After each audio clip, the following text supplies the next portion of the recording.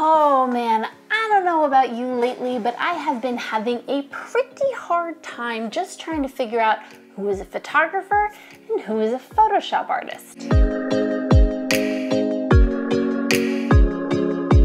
Is Photoshop killing photography, or is it just another way to continue that creative expressive freedom?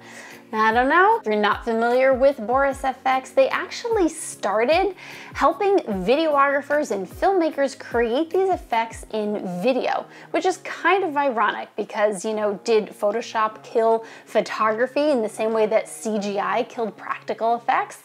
Maybe. Are we complaining about it? Are we not complaining about it? Is this just the evolution of where the art is going? I can't tell at this point if I really enjoy the creative freedom of being able to work with an image afterwards to such an extent that it alters reality, or if that pisses me off. Now, some of the newest features in Boris FX I think are extremely relevant, especially to wedding and portrait photographers, like their new beauty skin smoothing that's just a staple and something that you'll probably end up doing at some point in your photography career if you photograph humans at all. But the other fun things like the new particle illusions and creating the bokeh you want, a little bit of lens flare, shadows, window shadows, these are all things that are just going to enhance the vision that you may have had but couldn't execute in camera let's dive into this new program that has a ton of new ways that we can work with photos that we've already taken.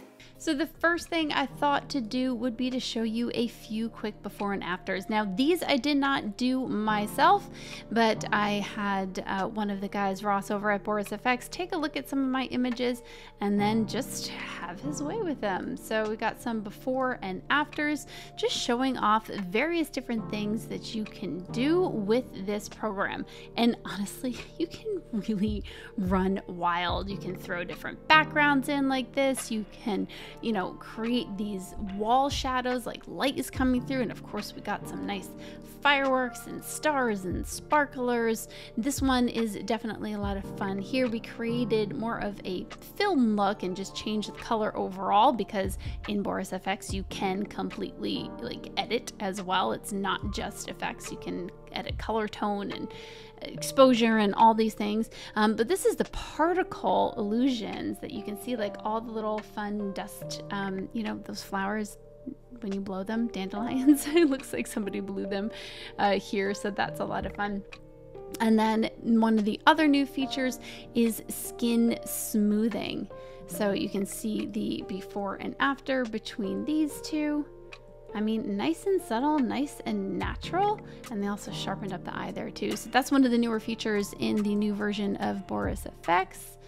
And then, of course, more particles, adding some snow here. And, you know, it's subtle little things too. Like right here, notice that little like light leak lens flare. I'm going to open this up in Photoshop.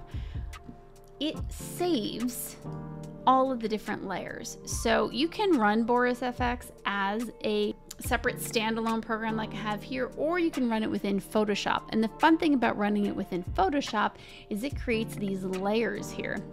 So if you wanted to, even afterwards, you could decide, okay, I want a half what I just did in Boris FX because um, it's adding it as a layer. Or we can just double click and it's going to open up the plugin and open up the photo as well as all the work that we did to it. So I'm just going to take this one and yes, we'll apply the previous filters and masks. Now, if you have used Boris FX before, you're going to notice this is a much cleaner feeling layout. They just updated that a little bit. Now, these are all the different layers within the program here, all the effects that we did. And as we kind of like go down, we're just on everything here and below. So this is our original and then we added, and not we, uh, Ross over at Boris FX added this, and we can see the mask right here too. So if I click on that, you're gonna see the mask that was just quickly drawn. You can create masks a ton of different ways, and I'll probably do that when I actually edit some of these. So we've got that mask. If I wanted to, I can try some of the other filters on here that they already have. Subtle smoothing, smoothing with color correction, or we can go the opposite. We can totally age her, or we can intense smooth in. It's a little bit crazier. So four pass, five pass, medium smoothing, really just depending on what you want to do. I think that's a pretty powerful feature and something that you would use in general. All right, let's go to the sharpen feature here. Um, this is just nice. I think all of our images need a little bit of sharpening every once in a while. You can see just how far you can go with really what we want to sharpen. But the nice thing is, so aside from this, let's go ahead and we'll hit apply. And let me start with an image from scratch. I just wanted you to see where that beauty one was. Okay, so this picture right here, I added all of these particles. I went and I found stock imagery that had all this bokeh and these little like lens thingies here. And it took me a pretty long time to edit this in Photoshop. I mean, not like hours, but it took a chunk of change. And I'm curious if I take this photo of mine and edit it in Boris FX, if I could potentially level this up a little bit in less amount of time. I'm going to go to Boris FX Optics 2022, which is their newer one, and let's play around a little bit. Down here, this is your basic section where you have all the things that you can do adjusting, color correcting, curves, developing, enhancing, fluorescent. And then anytime you click on one of these, over here on the left are a bunch of different versions of that base filter. Then we can go click on something else.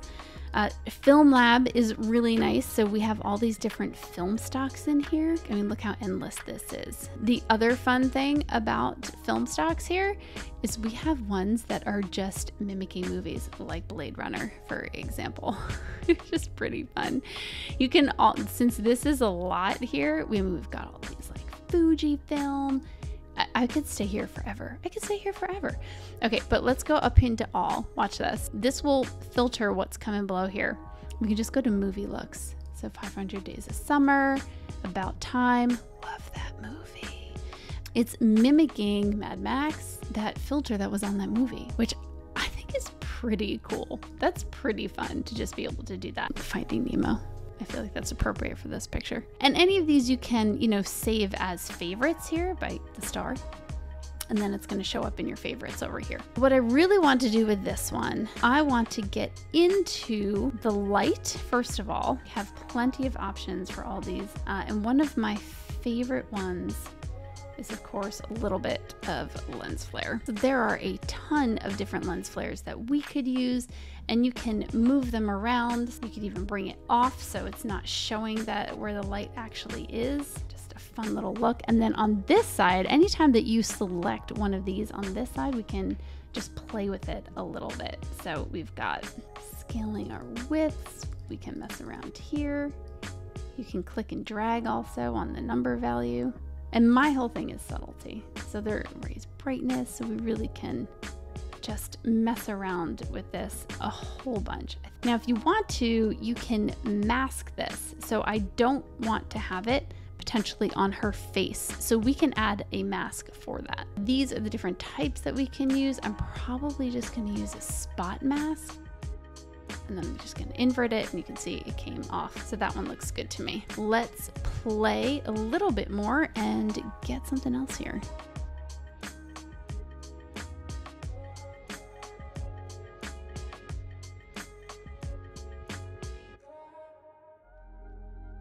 So we got some of those fun objects there. Now I want to get into this particle illusion.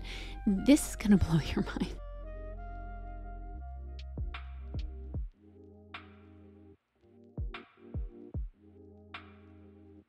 Let's just get the smoke right about here. Now the fun part of this is this time bar here. Watch this. It's going to change the smoke over time. Now I'm not going to show you how to do this right now. However, I can't imagine this not being a fun thing to play with for NFTs. I'm just to plant that seed. But what I'm really looking for is a little bit of that bokeh in front. So I think I'm to do this sparkly glitter here and I do like this orange and let's go ahead and mess around with time to see where we want it. Awesome. So here we have just a little bit of a before and after. It's pretty crazy the difference between both of these. You know, and just enhancing a little bit, creating something completely new. Let's go ahead and find something else that we can play with. So we did a portrait one. Let's just go ahead and try a wedding one. Let's do this one. I don't know. Maybe we can add a moon. Maybe we can make it look a little bit more like nighttime. I think I'm going to go a little bit crazy here. Let's start off with the diffusion. I want to create a little bit of fog throughout the land here. Seeds and clouds. Yeah, this is more what I'm looking for. Let's play with this. Look how crazy that is, the time feature. That's just, that's just bananas. I want to be a nice low-lying fog, maybe a little bit of those particles there. Let's go ahead and paint in my mask this time. See what we get.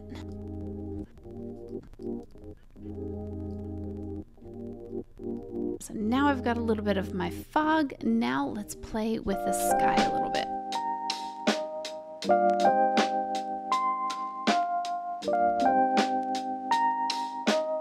Let's go ahead and use one of my favorite features, the easy mask here. Now this one, you just tell it where you want the mask to be and it's going to auto find it for you. So you're really just going to paint streaks in here and then you can paint where you don't want the mask and then you let it do its job. The more you paint, the more information that you're going to give it to let it know exactly where you want the mask. And then, of course, you can adjust. So once you kind of paint everything in here, go ahead, let it do its magic to generate the mask. And voila, look at that. We got a really nice mask going here so you can see the stars are only in the sky versus all over the ground. And you can see a little bit about what this mask is right there. And let's go ahead and I just want to lessen a little bit of how crazy these stars are. Maybe we just see a little bit of the stars, not like a ton of them just enough for it to be slightly magical. And then on top of this, I want to do one more thing and do this day for night. Just so we make things a little bit more realistic. I'm going to go ahead and duplicate this mask, bring it up to this one so we can, again, still really working on the night sky versus everything else. I don't want to take all of my purple out of it, just a little bit. Should I not have fog on here? Hmm. Yeah, I do like the way this looks a little bit better. So let's go ahead and look at the before and after with this photo. You know what? I mean, it's not like I hate this, but that's kind of epic, right? Not too shabby for the before and after. Just taking a look at what we can do here. Now the last thing I want to show you is how you can change a background. So we're going to go ahead and open this already edited in Boris FX so we can take a look and see what exactly happened. Now once you mask this out, here's our original and you can easily use a mask, the easy mask feature, just like this. You can see we drew all the lines here, and by we, I mean Ross again.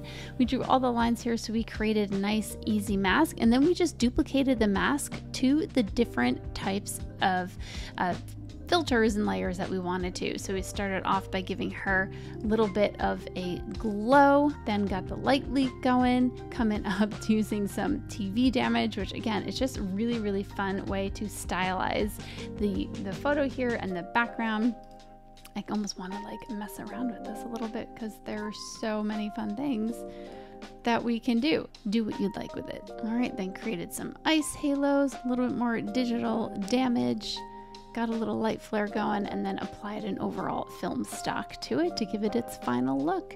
But pretty fun between the two, just seeing what you can do in just a few clicks. Well, you tell me, we certainly have quite a few different before and afters that we've done and taken a look at both what I did pretty easily, not being an expert in this. So I would have to say the learning curve, I'm very happy with the learning curve. I have to admit, even though I often look at photos and get a little bit annoyed by how much Photoshop there is in there or Boris affecting, I have to admit that it's really fun to play with your images.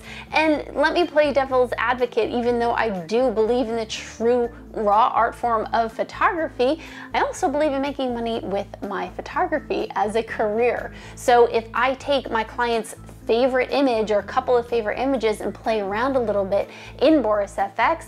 Are you gonna tell me they're not going to want to print those favorite images now enhanced as large pieces of wall art or at least covering two spreads, three spreads in an album? I'm guessing they would and I'm guessing that's gonna make me a little bit more money.